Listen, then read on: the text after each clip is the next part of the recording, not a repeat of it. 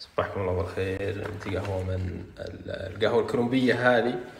ال- القهوة الكولومبية السنة الماضية يعني السنتين الماضية تقريبا صار لها تطور قوي جدا والكل ملاحظ. يعني قبل قبل سنتين ما كان قليل القهاوي الكولومبية آه، بالمحامص المختصة. لكن في السنة الأخيرة لا انتشرت انتشار قوي جدا والسبب أنهم آه، طوروا من طرق المعالجة. فأكثر القهاوي اللي انتشرت هالأيام هذه تجي آه، مخمرة. فهم بدأوا يلعبون على طريقة التخمير. هذه من القهاوي المخمرة يخمرونها آه، يعني من من 15 ساعة إلى 100 ساعة أو بعضهم أكثر آه، قبل التجفيف. يعني أول ما يقطفون ال- ال- الثمر هذا ثمر ال- البن يحطونه في براميل ويشيلون عنه الهواء آه، فتكتسب هالطعم اللي آه، صار آه، فتكتسب الطعم من من من هالعملية هذه. فصار يجينا قهاوي كولومبية فيها فاكهية قوية بعضها تذوق فيها طعم الفواكه اللي مخمرينها معها فيجيك قهاوي مثلا فيها طعم موز قهاوي فيها طعم أناناس. قهاوي فيها طعم قرفة.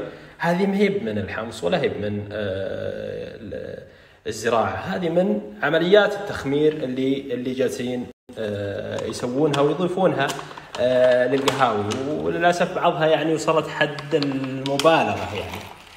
آه، أفقد أفقدت القهوة من كون إنها آه، قهوة. ولكن هذا ما يعني إن إنهم طوروا شيء كبير وخلوا السوق يمتلي من القهاوي الكولومبية.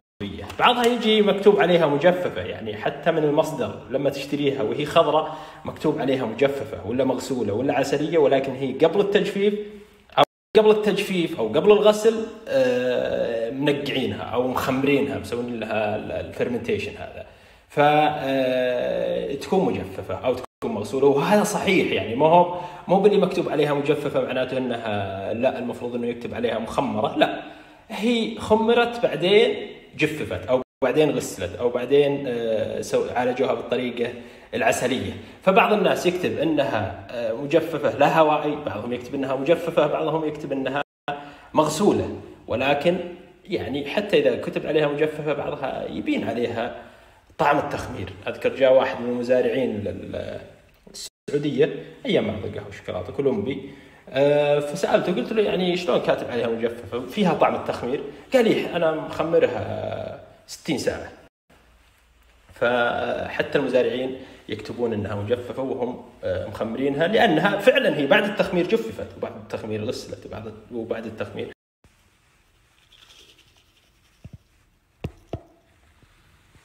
رقم التايمور مقاس. عندنا هنا قهاوي بعدة معالجات مختلفة. هنا. آه، مخمرة بعدين مجففة. يعني يقطفون حبة البن بعدين يخمرونها داخل سطول بدون آه، أكسجين يحطون عليها ثاني أكسيد الكربون بعدين يطلعونها ويجففونها. هنا لا مجففة مباشرة. يعني يقطفونها من الشجرة ويحطونها على أسرة بالهواء آه، تنشف من نفسها ثم يقشرونها. هنا لا. هنا مغسولة آه، يقطفونها من الشجرة بعدين يقشرونها كاملة ويغسلونها ثم ينشفونها. ثم يكيسونها بالأكياس. هنا آه، عسلية، العسلية تكون نص قشر يعني ما يقشرونها كاملة، لا يخلون فيها طبقة آه، عسلية فيها زي السكر حالية تكون آه، ثم يجففونها بالطبقة هذه، يعني بين هذه وبين هذه تقريبا آه، يتركونها تجف بالطريقة هذه العسلية فتسمى عسلية.